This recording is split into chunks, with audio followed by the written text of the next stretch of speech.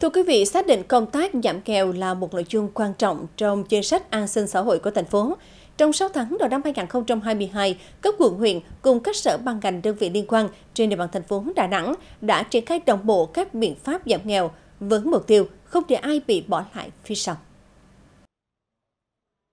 Trong 6 tháng đầu năm 2022, Sở Lao động Thương binh và Xã hội đã tham mưu triển khai hàng loạt các chính sách về giảm nghèo, trong đó phối hợp với các địa phương tập trung cho công tác lập danh sách hộ nghèo, hộ cận nghèo giai đoạn 2022-2025 theo nghị quyết số 76 của Hội đồng Nhân dân thành phố, ra soát phúc tra thực tế hộ nghèo có hoàn cảnh đặc biệt khó khăn để tổng hợp trình Ủy ban Nhân dân thành phố phê duyệt hướng dẫn các đơn vị địa phương triển khai thực hiện nghị quyết số 75 của Hội đồng Nhân dân thành phố quy định chính sách hỗ trợ hộ nghèo, hộ cận nghèo và hộ thoát nghèo, triển khai việc cấp thẻ bảo hiểm y tế cho hộ nghèo, hộ cận nghèo, triển khai việc xây mới sửa chữa nhà ở cho hộ nghèo và các chính sách đối với hộ nghèo, hộ cận nghèo.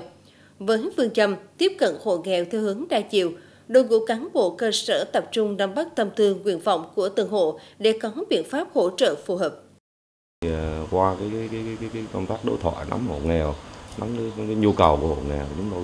nắm sát được cái nhu cầu của từng hoàn cảnh của từng gia đình và hỗ trợ cho cho cho cho hộ nghèo nó đúng với cái cái, cái, cái mục đích cái, cái nhu cầu của hộ nghèo.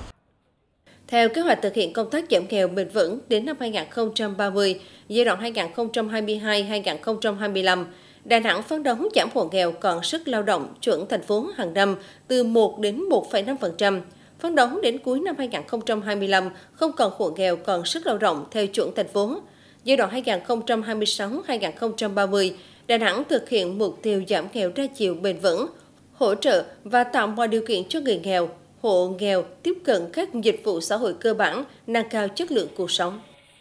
Trong giai đoạn tới thì Sở sẽ bám sát vào cái nghị quyết của Hội đồng Nhân dân, gồm có hai nghị quyết. Một là cái nghị quyết về chuẩn nghèo, hai là cái nghị quyết về các chế độ chính sách cho các hộ nghèo thì sẽ bám vào cái đó để xây dựng chương trình à, giảm nghèo trong thời gian tới.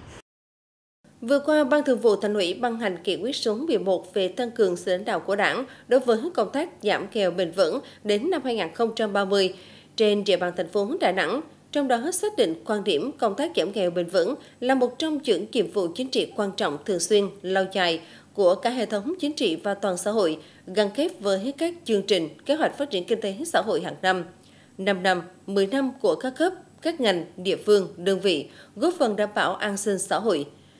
Tại hội nghị Ủy ban Mặt trận Tổ quốc Việt Nam thành phố Đà Nẵng lần thứ 9 khóa 11, nhiệm kỳ 2019-2024 diễn ra vào đầu tháng 7 vừa qua, Ủy viên dự khuyết Ban chấp hành Trung ương Đảng, Phó Bí thư Thường trực Thành ủy, Chủ tịch Hội đồng nhân dân thành phố Lương Nguyễn Bình Triết cũng đã nhấn mạnh đến việc đa dạng hóa các hình thức giảm nghèo trong bối cảnh hiện nay.